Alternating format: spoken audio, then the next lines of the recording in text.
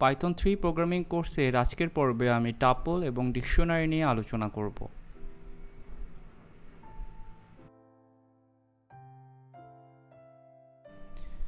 পাইথনে tuple হলো যে a sequence of values যেটা ইমিউটেবল ধরেন আমরা যদি একটা টাপল ডিফাইন করতে চাই, নাম, ধরেন আমরা একটা ভেরিয়েবল দিলাম টিপি এবং আমরা এখানে কিছু ভ্যালু অ্যাসেন্ড করতেছি কমা দিয়ে one comma two comma bell comma four point four comma false এখন যদি আমরা এটা প্রিন্ট করি এবং এটা টাইপ দেখতে চাই প্রোগ্রামটা রান করলে আমরা দেখতে পাচ্ছি প্যারেন্থিসিসের মধ্যে ভ্যালুগুলো দেখাচ্ছে এবং এটা দেখাচ্ছে যে এটা টাপল ক্লাস টাইপ আর কি। আচ্ছা এখানে একটা জিনিস মনে রাখতে হবে, আপনি যখন টাপল ডিফাইন করবেন, এখানে আপনি চাইলে প্যারেন্থেসিস দিতেও পারেন, নাও পারেন। এটা আসলে অপশনাল যদি আমরা এই প্রোগ্রামটা আবার রান করে, দেখেন আউটপুট একদম আগের মতোই দেখাচ্ছে। আচ্ছা আরেকটা জিনিস মনে রাখতে হবে, আমরা যদি কোনো কারণে এখানে স্কোয়ার ব্রাকেট দেই প্যারেন্থেসিস না দিয়ে, তখন কিন্তু এটা টাপল থাকে না, তখন এটা লিস্ট হয়ে যায়। দেখেন, এখানে আপনি দেখাচ্ছে যে এবার যে এই টিপি ভেরিয়েবলটা লিস্ট টাইপ অবজেক্ট আচ্ছা সো আপনি যখন টাপল ডিফাইন করবেন, এটা বেসিক্যালি আপনার চয়েস যে আপনি প্যারেন্থিসিস দিবেন কি দিবেন না। এটা একটা ইম্পর্টেন্ট বিষয়। আরেকটা জিনিস মনে রাখতে হবে যে আপনি আপনি যদি ধরেন ওয়ান টু আমি এটা দিলাম এবং আমি এটা প্রিন্ট করলাম, এবার ওয়ান টু দেখাচ্ছে টাপল দেখা যাচ্ছে। কিন্তু ধরেন, আমি যদি এখানে লিখি TP one and then TP two এখানে প্রিন্ট করলাম TP one then TP two এবং আমি যদি টাইপ টিপি ওয়ান এবং টাইপ টিপি টু দেই, হুম? দেখেন ওয়ান টু প্রিন্ট হয়েছে এবং এখন কিন্তু এটা টাপল না। কারণ কি? এটা, এটাকে বলে মাল্টিপল অ্যাসাইনমেন্ট আপনি কমা সেপারেটেড দুই তিনটা ভ্যালু এভাবে ডিক্লেয়ার করে ইকুয়াল সাইন দিয়ে দুই তিনটা ভেরিয়েবল ভ্যালু সেখানে অ্যাসাইন করতে পারেন। সো যখন আমরা যদিও এটা কমা সেপারেটেড কিন্তু এখানে যেহেতু দুইটা ভেরিয়েবল আমরা কমার বাম পাশে দিয়েছি সো টিপি ওয়ানের ভিতরে ওয়ান এবং টিপি টু এর ভিতরে টু ভ্যালুটা অ্যাসাইন হয়ে গিয়েছে। এটা টাপল না। টাপল হতে হলে আমাদের অবশ্যই একটা ভেরিয়েবল হতে হবে এবং যার ভ্যালু কমা সেপারেটেড কিছু ভ্যালু বা আইটেম থাকতে হবে। এই ব্যাপারটা মাথায় রাখতে হবে যখন আপনি টাপল নিয়ে কাজ করবেন। টাপল ভেরিয়েবলের আইটেমগুলো যদি আমরা এক্সেস করতে চাই, আমরা ঠিক লিস্টের মতো করে এটা এক্সেস করতে পারব। লিস্টে যেমন পজিশনিং স্টাইলে ভ্যালুগুলো স্টোর করা হয়। যেমন ফার্স্ট পজিশন হচ্ছে জিরো যেখানে প্রথম আইটেম এবং সেকেন্ড পজিশন ওয়ান যেখানে দ্বিতীয় আইটেমটা অ্যাসেন্ড করা হয়। সো টাপলও ঠিক একই রকম। সো আমরা যদি টাপলের ধরেন আমরা ওয়ান প্রিন্ট করতে চাই, তাহলে আমরা লিখব টিপি স্কোয়ার ব্রাকেট জিরো যদি সেকেন্ড আইটেম বা ধরেন বিল প্রিন্ট করতে চাই, তাহলে দেবো টিপি স্কোয়ার ব্রাকেট টু এবং একইভাবে যদি আমরা লাস্টের আইটেম ধরেন ফলস প্রিন্ট করতে চাই, তাহলে আমরা দেবো TP square bracket minus one এই প্রোগ্রামটা যদি আমি সেভ করে রান করি দেখেন ওয়ান বিল ফলস এই আউটপুটটা আমরা দেখতে পাচ্ছি। আচ্ছা আমরা যদি টাপল ইটারেশন করতে চাই, এটাও একদম লিস্টের মতো। আপনি একটা ফল লুপ দিলেন, এরপর একটা ভেরিয়েবল ডিক্লেয়ার করলেন, করে ইন লিখে আপনি টাপলের নাম দিলেন, এরপর প্রিন্ট বা যদি আপনি এই ভ্যালুগুলো নিয়ে কোনো কাজ করতে চান, সেটা আপনি ফল ব্লকে করতে পারেন। আমরা যদি এই প্রোগ্রামটা আবার রান করি, দেখেন আমরা এই এখান থেকে one two Bill four point four এবং ফলস এই ইটারেটেড ভ্যালুগুলো টাপলের ভিতর থেকে দেখতে পাচ্ছি। আমরা টাপল ভেরিয়েবলগুলা কম্পেয়ারও করতে পারি। ধরেন আমরা টি ওয়ান নামে একটা টাপল ডিক্লেয়ার করলাম ওয়ান টু থ্রি ভেরিয়েবল দিয়ে ভ্যালু দিয়ে এবং টি টু নামে আরেকটা টাপল ডিক্লেয়ার করে ওয়ান টু থ্রি নামে তিনটা ভ্যালু রাখলাম। এখন যদি আমরা এই প্রোগ্রামটা সেভ করে রান করি, তো দেখেন দেখাচ্ছে T one and T two values are equal যেহেতু এখানে ওয়ান টু থ্রি আছে এখানে ওয়ান টু থ্রি আছে। এখানে মনে রাখতে হবে, আপনি যখন টাপল কম্পেয়ার করবেন, এখানে অর্ডারিংটা ইম্পর্টেন্ট এখানে যদি ধরেন আমি থ্রি দেই এবং এখানে যদি টু দেই জাস্ট এক্সচেঞ্জ করি, এখন যদি আমি এই প্রোগ্রামটা রান করি, তো দেখেন, দেখা, এই ব্লকটা রান হয় না কারণ কি টাপল যখন দুইটা টাপল কম্পেয়ার করবে, সে প্রথমে, প্রথম দুইটা আইটেম চেক করবে। সেটা যদি সেম হয়, এরপর সে দ্বিতীয় দুইটা আইটেম চেক করবে। যেহেতু এখানে টু এবং থ্রি ম্যাচ করতেছে না, তার মানে ওই চেকিংয়ের সময় এটা ডিফাইন করবে যে এই দুইটা টাপল সেম না। আচ্ছা।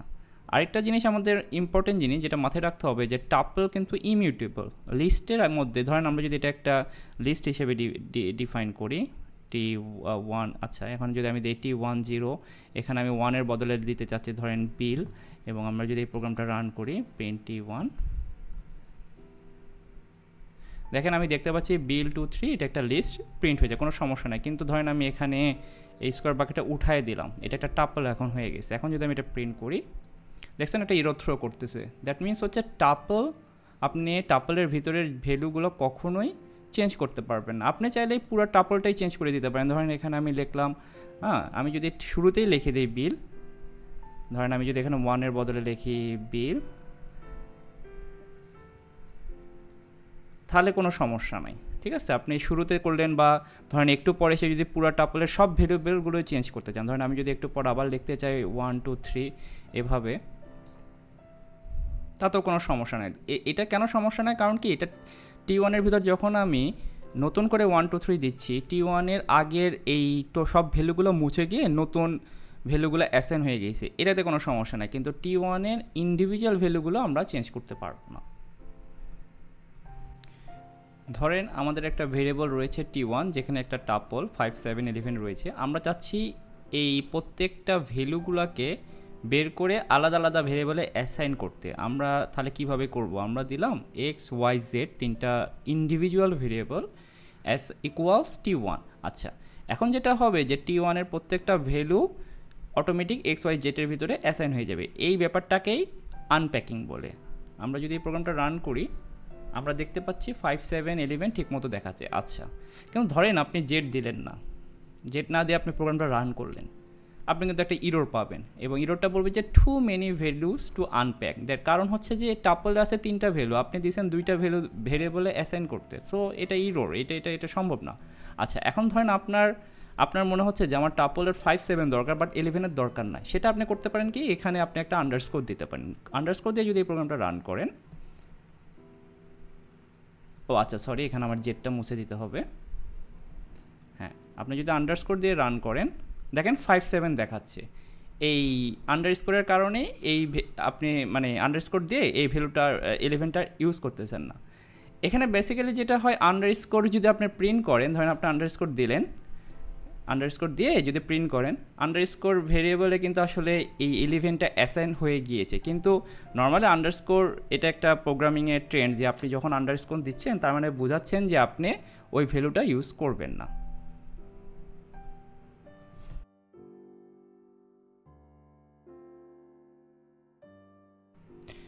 ডিকশনারি ডাটা টাইপকে অনেক প্রোগ্রামিং ল্যাঙ্গুয়েজে যেমন জাভাতে হ্যাশ ম্যাপও বলে।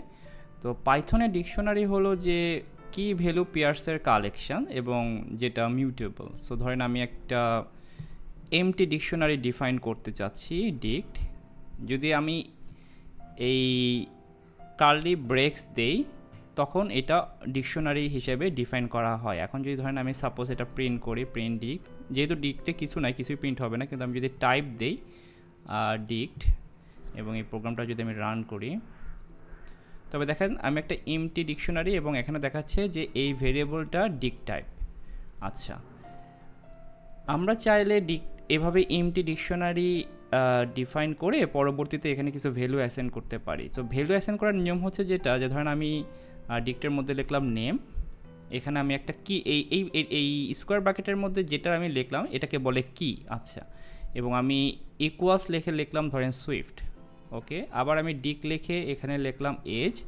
এবং ইকুয়াস লিখে দিলাম যে ফিফটি ফাইভ আচ্ছা এখন যদি আমি প্রিন্ট করি প্রিন্ট ধরেন আমি ডিক্ট নেম এবং আমি এখানে কমা দিয়ে লিখলাম, একটা বার দিলাম আচ্ছা কমা দিয়ে লিখলাম যে ডিক্ট এজ আচ্ছা এখন যদি আমি এটা রান করি, দেখেন আমি দেখতে পাচ্ছি সুইপ বার ফিফটি ফাইভ তো ডিকশনারি আর লিস্টের মধ্যে বেসিক যেটা পার্থক্য হলো যে লিস্টে, লিস্ট এবং টাপলে ভ্যালুগুলো যখন অ্যাসেন্ড করা হয় সেটা জিরো থেকে position automatic zero, one, two, three এভাবে হয়।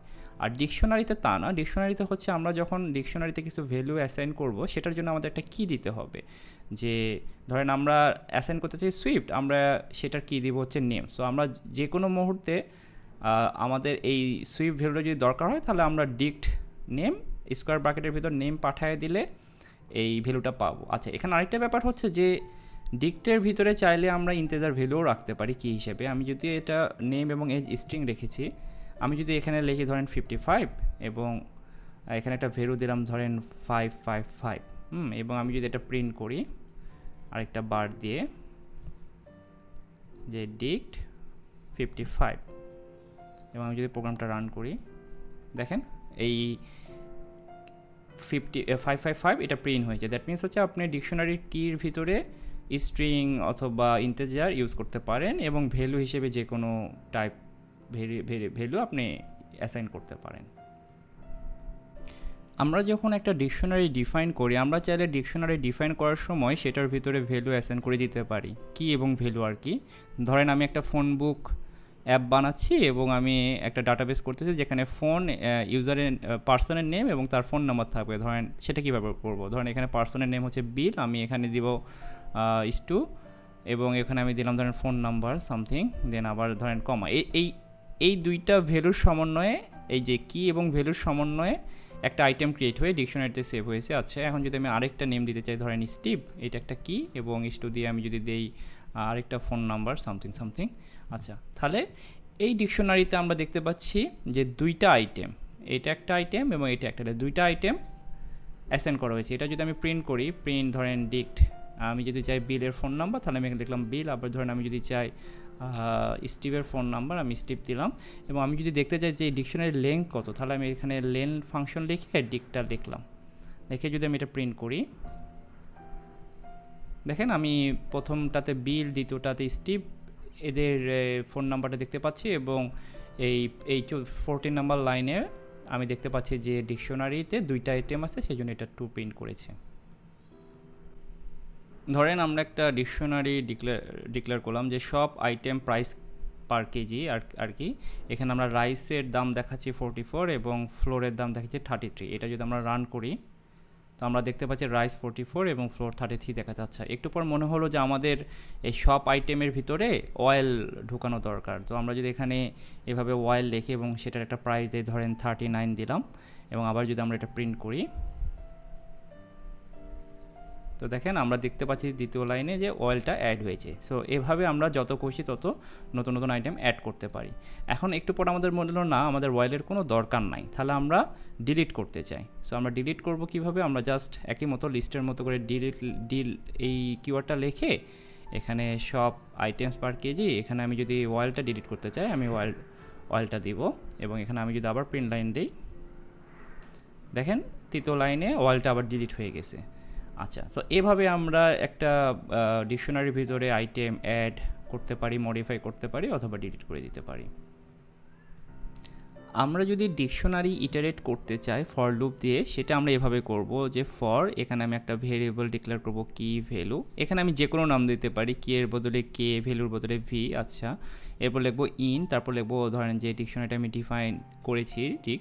এরপর ডট লিখে আইটেমস লিখব। হুম আইটেম থেকে কোলন দিয়ে আমি যদি এটা প্রিন্ট করি কি ভ্যালু এবং সেপারেট দেই একটা অ্যারো আচ্ছা এখন যদি আমি প্রোগ্রামটা রান করি, তো আমি দেখতে পাচ্ছি A ninety seven B ninety eight এইভাবে ভ্যালুগুলো প্রিন্ট হয়েছে আচ্ছা। আমরা যখন লিস্ট এবং টাপল ইটারেট করি, আমরা জাস্ট ওই ভেরিয়েবলের নামটা দিই, কোনো আইটেমস দিই না। কিন্তু ডিকশনারি করতে হলে আপনাকে এটা অবশ্যই ডট আইটেমস দিতে হবে। ডট আইটেমস যেটা করে, সে ডিকশনারির ভিতরে যে ভ্যালুগুলো রয়েছে, কি এবং ভ্যালুর পেয়ার নিয়ে সে একটা করে টাপল ক্রিয়েট করে, সেটা লিস্ট আর কি সিকোয়েন্স লিস্টের সিকোয়েন্স ক্রিয়েট করে। সো ফর যখন রান হয়, ধরেন কি ভ্যালু, সে যেটা করবে, প্রথমবার যখন রান হবে, সে প্রথমবার এই টাপলটাকে অ্যাক্সেস করবে। হুম, যেহেতু এই মেথডটা এইটা একটা টাপল হিসেবে রিটার্ন করে।